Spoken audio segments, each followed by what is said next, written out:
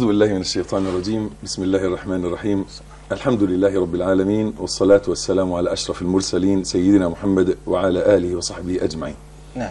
أما بعد فحقيقة آه، نحن لا ننكر دعونا نكون واقعيين جدا أن عصرنا هو عصر الهموم.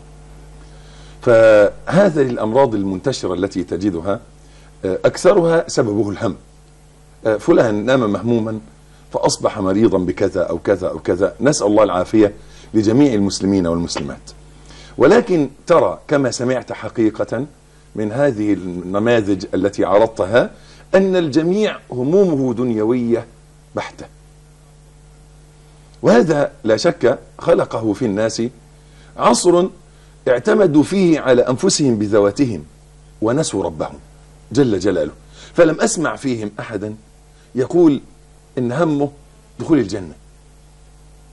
أن همه آه، الوصول إلى مرضاة الرب جل جلاله أن همه التخلص من ذنب واقع فيه كيف يتخلص منه آه، قال رسول الله صلى الله عليه وآله وسلم وأنتم تعلمون شرطنا أن تصلوا على النبي صلى الله عليه وآله وسلم كلما. سمعتم ذكره صلى الله عليه وآله وسلم.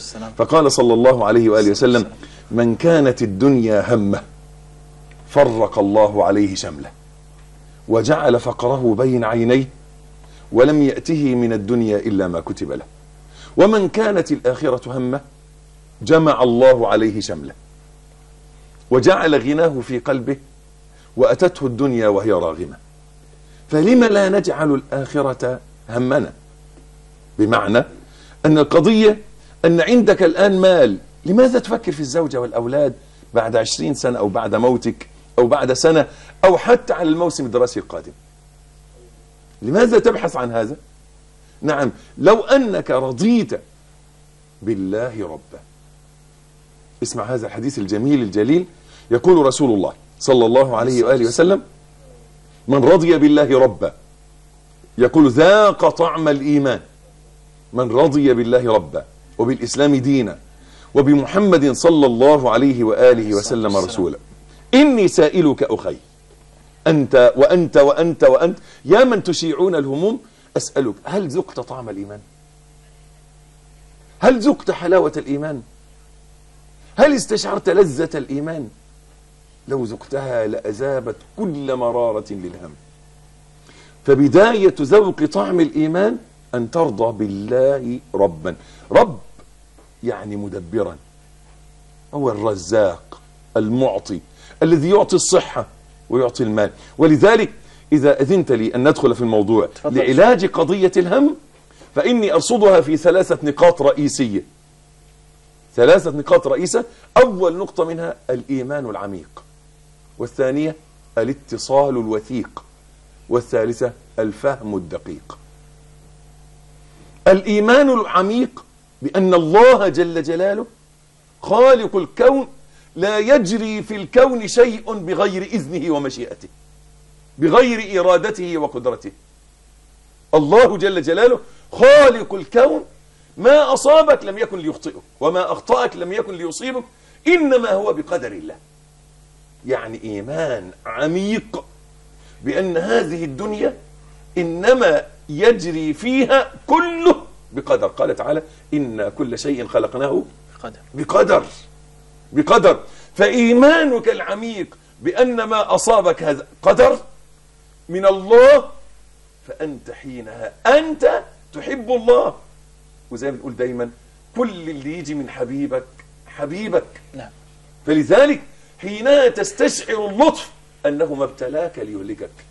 أنت سألتني في المقدمة ليش بعض الناس غير مهموم بعض الناس غير مهموم؟ وأنا مهموم أنا أصيبني هم. إنما أصابك الهم بقدر الله وما أصابك ليهلكك الله يحبك. قال تعالى ألا تحبون أن يغفر الله لكم؟ والله غفور رحيم.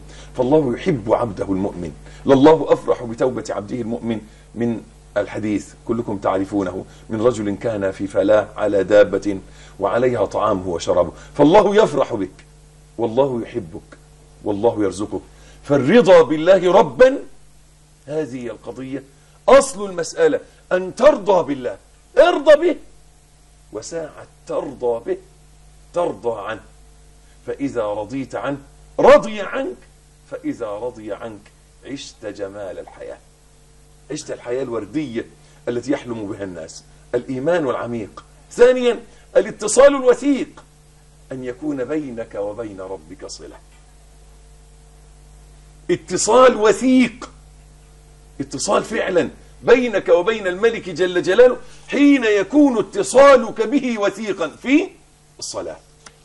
كان صلى الله عليه وآله وسلم. إذا حزبه أمر هرع إلى الصلاة.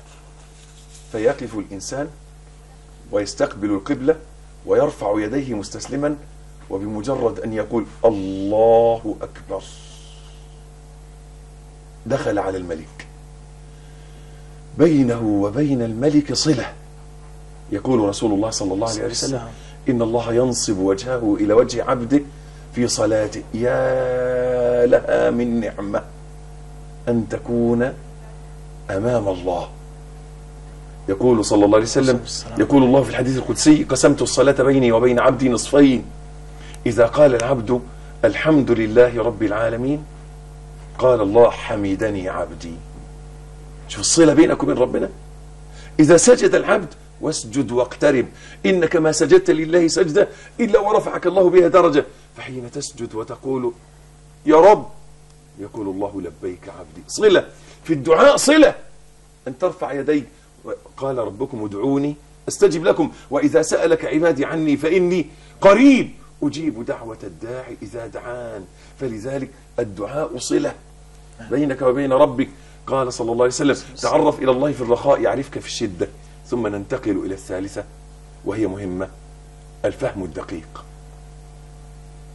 أن يكون لك فهما دقيقا لماذا خلقت في هذه الحياة؟ قال تعالى وما خلقت الجن والإنس إلا ليعبدون.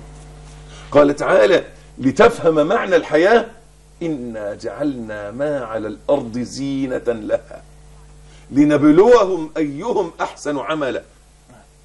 فخلقت لتعبده خلقت مبتلى مبتلى.